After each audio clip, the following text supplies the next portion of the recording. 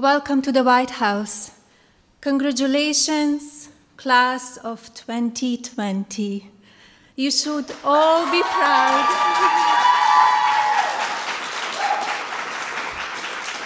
You should all be proud of yourselves for crossing the finish line in this chapter of your lives.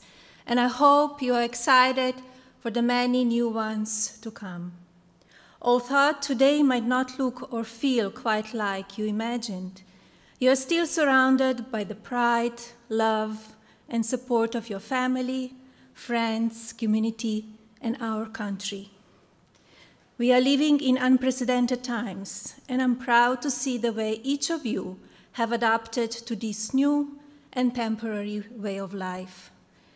Many of you missed your prom, sporting events, and celebration with your friends, but you were quick to find new ways to stay connected and active while remaining focused on finishing your education.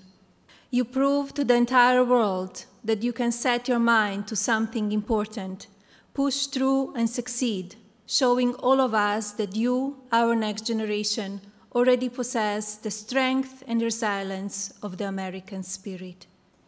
Do not be discouraged. Continue to chase your dreams. Use your success to help others and make this experience one that shape your future in a positive way. My hope for each of you is that you will always focus on what you want in life. Yes, you will be overwhelmed sometimes, and there will be bumps on the road ahead. But continue to strive for greatness. Be your best self, believe in yourself, and don't ever give up.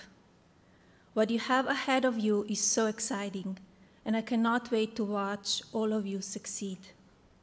Before I leave, I would like to share a quote from one of my favorite authors, and likely one of your very first teachers in life, Dr. Seuss.